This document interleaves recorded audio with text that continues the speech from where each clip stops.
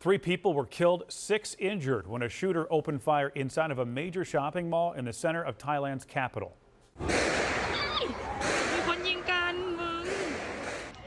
Hundreds of shoppers ran out of that mall in Bangkok after hearing a number of those gunshots earlier today.